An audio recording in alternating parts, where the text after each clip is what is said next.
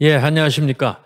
그, 우선, 우리 김덕현 대표님과 아, 이 행사 준비하시느라고 수고하신 우리 임직원 여러분들께 축하, 치하의 말씀 같이 드립니다. 어, 제가 이, 저기, 솔직히 말씀을 드리자면 오늘 이제 해외를 가야 되기 때문에 복장이 조금 자연스럽 지금 앉아 계신 분들은 복장이 자연스러워서 제가 뭐 저거 한데, 어, 사실은 이 금융인들 하면 보통 굉장히 그 뭐랄까 아주 포멀한 경우가 많아서 어, 저 저같이 이렇게 하고 하는 게 조금 그렇긴 합니다. 아니 어, 좀 양해해 주시기 바랍니다. 그 제가 여기, 에 대해서 얘기를 좀 해달라는데 사실은 그 무슨 금융을 현업에 있었던 사람이 아니라서 좀 말씀드리기가 좀 제가 좀 저하긴 했습니다. 저하긴 했는데 평소에 이제 금융 정책에 관여를 좀 했던 사람이기 때문에 그런 그 어, 관점에서 좀 말씀을 드리면 되겠다 하는 생각이 들었습니다. 제목도 제가 매긴 제목은 이렇게 금융과 금융 정책이라고 되어 있습니다. 그 이 인용을 좀 하고 싶어요. 참 저는 이분이 이렇게 이 이렇게 얘기를 할 수 있다는 게 참 대단하다는 생각이 들었는데 금융은 온갖 인간의 활동을 촉진하면서 가장 순수한 아름다움을 바라는 것이다. 로버트 쉴러라고 예일대학교 이제는 명예 교수쯤 돼. 뭐 미국은 명예 교수라는 게 없습니다만은 어, 노벨상 수상자이시고 얼마 전에 한국도 왔다 가셨고 제가 대담을 잠깐 한 적도 있는데 어, 아주 뭐 위대한 경제학자의 반열에 들은 분인데 이 책 보신 분들은 아시겠지만 정말 이 금융이라는 것이 얼마나 중요한 역할을 하고 있으며 많은 사람들이 금융에 대해서 잘못 생각하는 것에 대한 어떤 그 교정도 해주고 이제 이런 걸 했습니다. 그러니까 아주 정말 학자로서도 훌륭하지만 그 현실에 대한 설명을 이렇게 잘하는 것도 쉬운 일이 아니다 하는 생각이 들고 특히 이 표현이 제가 참그 반드시 인용을 어디서 해야겠다 해서 이렇게 인용을 하게 됐습니다. 뭐 우리가 이제 어떻게 그 금융 개혁이 추진되고 그 우리 금융 산업이 얼마나 발전되었는가에 대해서 뭐 길게 말씀드릴 게 없겠고요. 우리가 이제 은행, 증권, 보험 보통 이제 이런 걸 이제 전통 금융이라고 하고 과거에 우리가 금융 하면 알고 있었던 게 제일 먼저 은행, 그다음에 뭐 증권, 보험 이렇게 했고 감독 감독 기능도 대개 이 세 가지로 따로 있었습니다. 지금은 뭐 엄청나게 많은 금융 상품이 개발이 돼 있고 예, 이제 부동산도 금융이라고 봐야 되는 세상으로 왔기 때문에 이건 뭐 매우 다른 어, 이제 뭐 다르기까지 한 세상이 된 게 아닌가 싶습니다. 그, 그런데 뒤로 안 가네. 예. 과연 우리 금융 산업이 다른 우리가 소위 세계에 자랑하는 그런 산업에 비하면은 세계에서 과연 그런 위상을 차지하고 있는가 하는 걸 좀 생각은 해보게 됩니다. 어, 물론 잘 아시다시피 제조업은 뭐 온갖 분야가 최강국에 반열에 있는데 금융이 과연 그러냐? 우리가 뭐 금융산 우리나라의 금융산업이 이게 무슨 낙후된 산업은 아니지만 아직도 소위 세계에서 뭐 가장 선두주자급에 들어가지는 못한다 하는 생각이 듭니다. 역사가 짧고 뭐 예를 들면 유럽의 영국이나 이태리나 뭐 심지어 불란서나 독일 이런 나라들 심지어는 금융에서 신생국이라 해서 미국보다도 우리 금융의 역사는 어, 짧은 것이 사실이고 그러나 또 하나 문제는 우리 금융 산업에 있어서의 규제가 큰 게 문제가 아닌가 이렇게 생각을 합니다. 물론 금융산업은 대표적으로 규제산업입니다. 규제를 안 할 수가 없고요. 그 시장에 많은 기능을 맡긴다 하더라도 그 금융이 기본적으로는 이게 그냥 오직 신뢰라는 거 하나의 베이스를 하고 있기 때문에 더군다나 여기에는 많은 그 위법, 불법, 어, 악용의 소지가 있어서 규제를 하지 않을 수가 없는 측면이 분명히 존재합니다. 그래서 금융 우리나라뿐만 아니라 세계 금융 산업의 역사라는 게 사실은 규제와 규제 완화가 반복이 되는 그런 그 역사인데 그럼에도 불구하고 아 우리가 이 우리나라의 규제 금융 규제는 좀 많은 게 아닌가 좀 아직 그 개혁할 것이 많다 이렇게 말씀드리겠습니다. 자 이제 그 우리 뭐 여기 저 자본시장법에 의해서 이제 규제가 많이 철폐가 됐지만 그래도 이제 많은 게 남아 있다 하는 말씀 드리고요. 어, 말씀드린 대로 규제가 많을 수밖에 없는 산업의 속성상 규제가 많이 유지돼야 되는 게 특별히 즉 소비자 보호에 관한 거 여러분 규제가 없이 그것이 소비자 보호가 되겠느냐 여기 안철경 보험원장 연구원장님 나오 계시지만 그 어, 보험 산업에 있어서의 그 규제를 우리가 생각을 안 할 수가 없을 겁니다.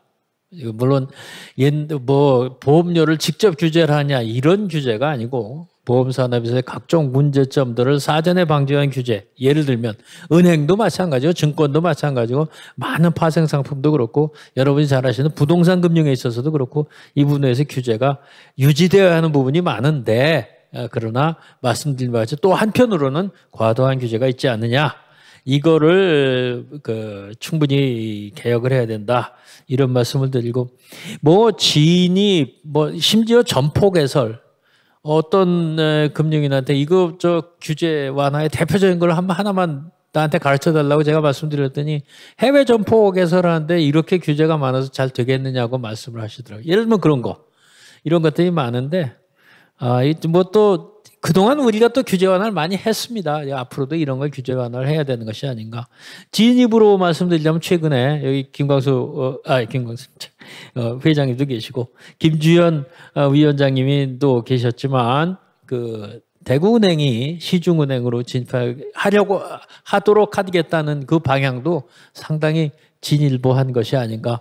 다른 시중은행장님들은 아유 이 경쟁자 또 하나 늘어났네 하실지 모르지만 그런 경쟁 속에서 금융산업이 발전한다 이렇게 생각을 합니다.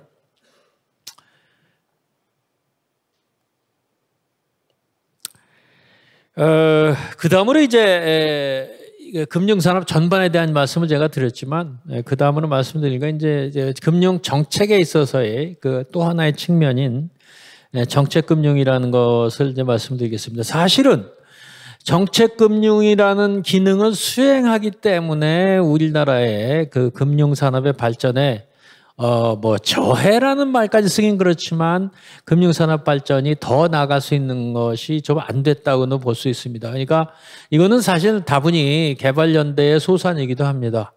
우리가 과거 60년대에 부족한 자원을 저, 저 동원해서 우리가 그 집중적으로 어떤 분야를 키우는 그런 뭐 옛날식 표현하자면 일종의 불균등 성장을 추구할 때는 당연히 국가든지 무슨 저 그와 같은 어 기능을 가진 주체가 경제 주체가 금융 자원의 배분에 직접 관여를 하는 측면이 많았던 것이고 그것의 그 한 형태가 정책 금융이었고 지금은 그런 형태의 정책 금융은 다 사라졌지만 그 기능이 남아서 아직도 우리가 산업은행이라는 조직이 있고 그래서 필요하다면 정부가 혹은 어, 정책 당국이 직접 금융시장에 개입을 해서 회사의 성패에 대해 그 할 수 있는 그런 금융의 기능이 남아 있습니다. 그 이게 뭐 과거의 예로 보면 이거는 우리 경우에 아마도 개발 경제학을 하시는 분들 입장에서 보면 이건 피, 필요하다, 필수불가결이다 이렇게 말씀을 하실 거라고 보고요. 저도 과거의 이 정책금융의 존재가 그 공과가 있음에도 불구하고 그 공을 무시할 수 없다고 생각을 합니다. 그 현재도 정책금융이 필요한 측면이 있다고 어, 보고 그러나 이것이 그 금융의 그 이른바 시장에서의 발전을 어, 늘어볼 때는 장기적으로는 이, 그 축소 그리고 어떻게 보면 아주 먼 장래에는 어, 그것을 폐지해야 되는 것이 아닌가 이렇게 생각을 합니다. 그러나 그것은 지금 당장 아, 될수 있는 문제는 물론 아니죠. 그것은 현실적이지. 뭐 만약에 지금 당장 야 이게 정책금융이라는 게 이런 이런 문제가 있으니까 지금 당장 폐지하자 혹은 1년 후에 다 싹 없애자 이렇게 하는 것은 전혀 현실적이지 않습니다. 이것은 점진적으로 정부의 기능을 줄여가는 측면으로 어, 접근을 해야 된다. 저는 이렇게 어, 보고 있습니다. 그 다음에 이제 오늘 제가 사실은 제가 이제 아까도 말씀드렸지만 금융의 전문가가 아니고 더군다나 금융산업이라는 게 왜 발전해야 되고 하는 이야기를 하려면은 금융산업이 얼마나 그 변화무쌍한 것인가 그런 부분에 대해서 솔직히 저도 잘 모르는 부분이 많고 특히 이 부분이 그렇습니다. 근데 오늘 어저 저 강의 중에 보니까 챗 GPT와 뭐그 금융산업인가 뭐 이런 제목인데 솔직히 제가 어 다른 일정이 있지 않았으면 제가 정말 꼭 좀 듣고 싶습니다. 오늘 이제 여기에 대해서 제가 그냥 그 어떤 개략적인 그 생각을 좀 말씀을 드리고 아마 이따가 그 시간에 특히 이 부분에 대해서 활발한 토론이 있으시려고 생각을 하는데 뭐 잘 아시다시피 AI라든가 뭐 이제 조금 진부한 얘기까지 메타버스라든가 또 진부한 얘기가 됐는지 모르겠으나 블록체인 기술 발달이라 이렇게 정말 현란한 그 기술적 발전이 금융산업에 굉장히 많은 영향을 이미 미치고 있고 향후에 더 미칠 것이다 하는 것은 뭐 여러분 여기 계신 분들이 다 잘 아실 거라고 생각을 합니다.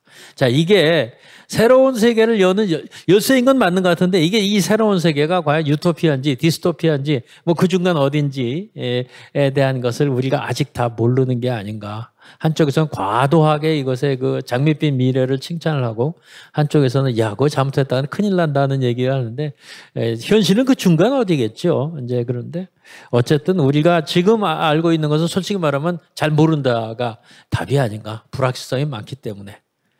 그런데 이걸 이제 잘 그, 그 불확실성을 잘 제거하는 것은 여기 계신 금융인들의 역할이라고 생각합니다. 어, AI 지금 뭐 금융 업무에 좀 적용이 되고 있죠. 근데 이제 아직 초기 단계다. 그러나 이것의 변화 속도는 여러분들이 잘 아시다시피 저도 느끼다시피 매우 빠릅니다.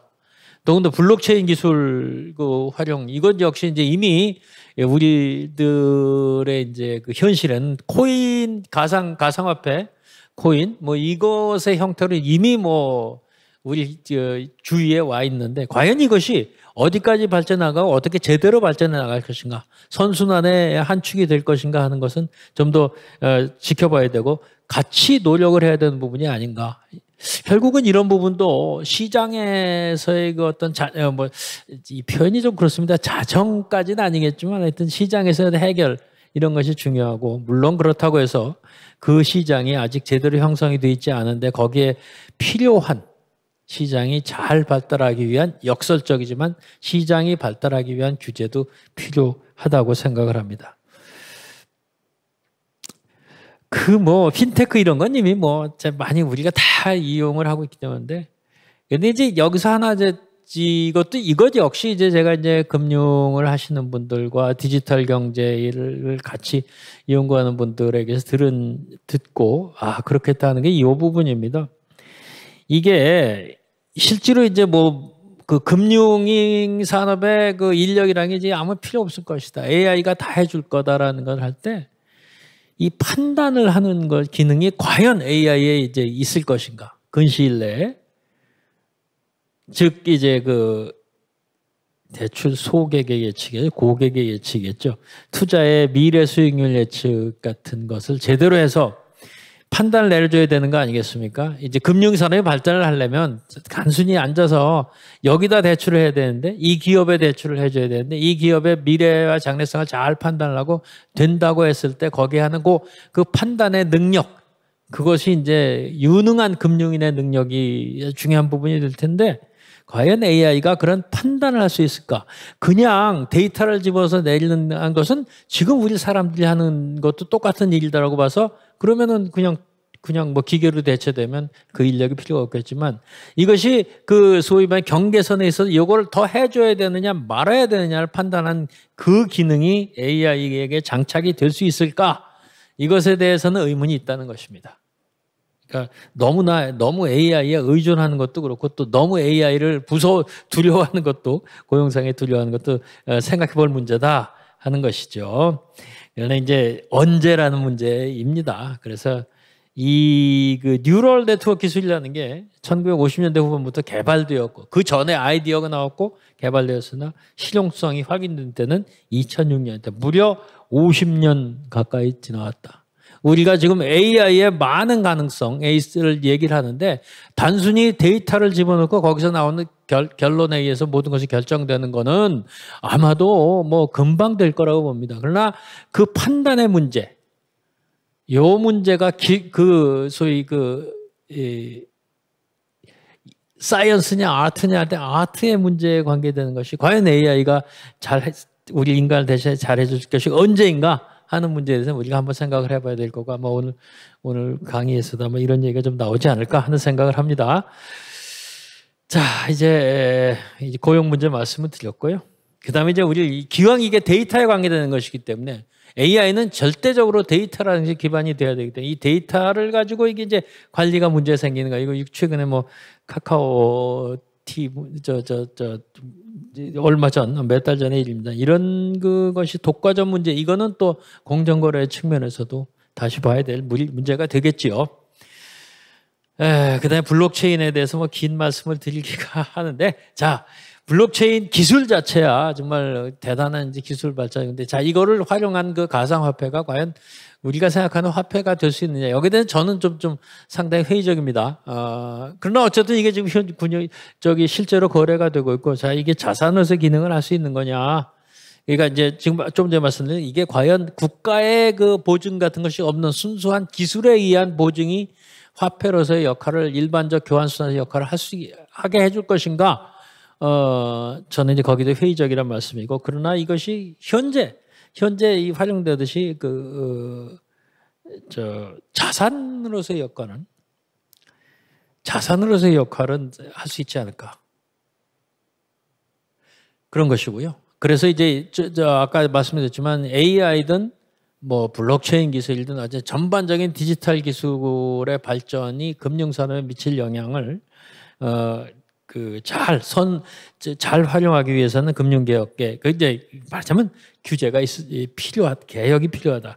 필요한 규제는 해야 되고 아닌 것은 과감히 시장에 맡기는 그와 같은 전향적 자세가 필요하다 하는 말씀을 드립니다.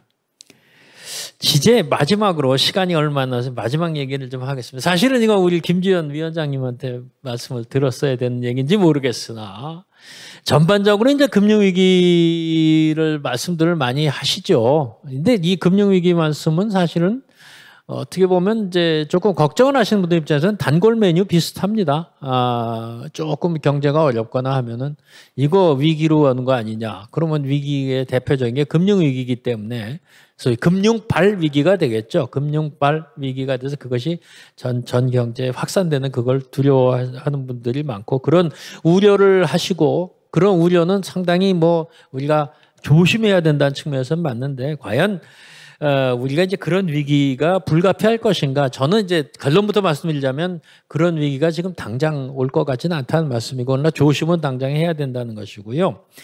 그 우선 뭐 이제 뭐 몇년 전까지 지금도 마찬가지입니다만 가장 이 위기에 걱정을 하는 첫째가 이제 우리나라 부채 수준이 매우 높다. 특히 가계부채가 가계부채발 위기에 문제가 있지 하는 얘기고 이것이 이제 더군다나 요즘은 그 스태그플레이션, 뭐 인플레이션이라고 해도 좋고 스태그플레이션이라고 해도 좋은데 어쨌든 그래서 이제 각국이 미국을 선두로 해서 이 금, 고금리를 정책을 어, 펴 나가면서 더욱 더그 어, 우려가 현실화되는 거 아니냐 이런 그 얘기가 많습니다. 사실 걱정이 되죠. 음, 걱정이 되나 그러나 저는 이것은 금융 당국이 충분히 예, 막을 수 있는 그런 것이 아닌가 싶고 다만 이것이 거시경제 운영과 관련돼서 이제 그 이렇게 이제 한쪽에서 고금리가 되면 다른 한쪽에 숨통을 틔우는 것이 보통 그 이제 약간의 완화적인 재정 정책의 그 컨비네이션으로 가는데 우린 뭐 아시다시피 재정에도 별로 없다는 것 그런 것이 있어서 거시적으로 보면 이런 고금리적인 문제, 금융 위기를 떠나서라도 고금리적인 문제가 어떤 전반적인 침체에 에, 국면으로 들어가지 않도록 하기 위해서는 결국 뭐 기업 쪽에 대한 그 어떤 그, 어, 뭐 규제 완화라든가 뭐 이런 것들에 대한 기업에 대한 그, 어, 도움을 주는 것이 필요하지 않가 민간의 활력을 이용해야 되는 것이 아닌가 싶고요. 이제 순전히 금융 현상으로 위기가 나타날 수 있는 그건 우리가 몇 번 봤습니다. 뭐 작년에 예를 들면 강원도의 그 지급 보증 때문에 그한 말하자면 지자체의 지급 보증, 그것도 큰 규모도 아닌 지급 보증 거절 한 번이 그 연쇄 효과를 일으키었던 것을 우리가 보고 있습니다. 그런 게 그 연쇄 효과가 이게 그 눈사람처럼 커지면 바로 그건 금융위기로 가는 것이죠. 어, 소위 뱅크런이 오고 뭐 이런 식으로 올 수가 있는데 그걸 이제 초기에 막았던 것이고 얼마 전에 이제 지금도 뭐 현재 진행형인지 모르겠습니다. 이제 MG 새마을금고 사태에서 그런 문제 이런 거 어찌 보면 처음 시작은 이 별거 아닌 듯이 보이는 것이 이 위기로 그 이제 눈사람처럼 커지는 거, 눈덩이처럼 커지는 거, 이거를 우리가 이제 조심을 해야 되는 것이죠. 금융 당국이 제가 금융 정책이란 말을 했기 때문에 금융 당국이 그것에 대해서 굉장히 신경을 쓰고 지금 대응을 잘 하고 있다고 생각을 합니다. 그런 그렇기 때문에 그와 같은 형태의 우리가 대응을 잘못해서 나오는 금융 위기는 여러 위기 요인이 있음에도 불구하고 충분히 막을 수 있는 것이 되지 않나. 물론 뭐 전 세계적인 금융위기 리만 브라더 사태 같은 게 온다면 그건 그건 결국 사후적으로 이제 그 막는 몇 년간의 고통스러운 과정을 거치겠지만 지금 그것을 사전적으로 우리의 문제라면 사전적으로 막을 수 있지 않을까. 그래서 저는 그 면에서 조금은 낙관적 신중한 낙관론자다 하는 말씀을 드립니다. 결론적으로 오늘 말씀드린 거는 이제 금융이라는 것이 여러 일을 굉장히 중요한 일을 하는 것은 뭐 잘 아시는 일이고 금융산업 발전을 위해서는 뭐 규제 완화라든가 이런 것에 대한 우리가 같은 고민이 있어야 되는 것 아닌가. 그래서 대한민국 금융산업이 요새 하도 K가 많아요. K팝도 있고 뭐 어, K가 뭐냐 K금융이 정말 우리 제조업 못지않은 세계적 강국이 되는 것을 어, 기원해 보고 싶습니다. 제 말씀은 여기서 끝내겠습니다. 감사합니다.